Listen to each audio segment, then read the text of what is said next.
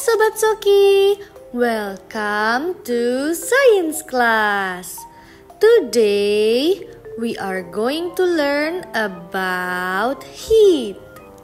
Heat is a kind of energy that makes things warm.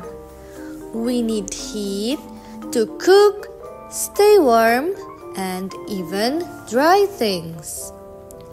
Let's talk about some things that give off heat. First, let's talk about where heat comes from.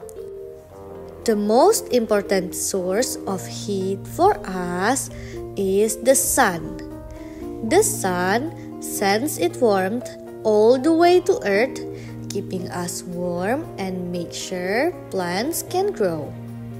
Without the sun, our world would be a very cold place. Another thing that gives off heat is fire. You might see fire in a fireplace, a campfire, or even when candles are burning. Fire is a great source of heat and light, but we have to be very careful around it. The next one is stoves. A stove gives off heat when we turn it on. This heat helps us cook food. It's important to be careful around the stove because it gets very hot. The next one is iron. An iron also gives off heat when we plug it in and turn it on, it gets warm so we can smooth out wrinkles in clothes.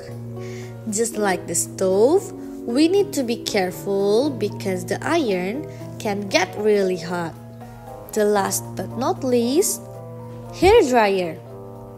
A hair dryer blows warm air to help dry our hair after we wash it. Isn't it cool how heat helps us in so many different ways?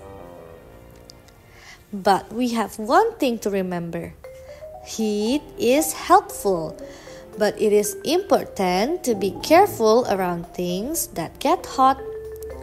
Always ask a grown up for help when using them. And now we are ready to do the fun activity we are going to make our own thermometers and we will work together with our friends and teachers. Once we are done, we will place the thermometers in different spots around the classroom. And then we will see if the temperature is different in each place. Have fun and see you next week, friends. Bye bye.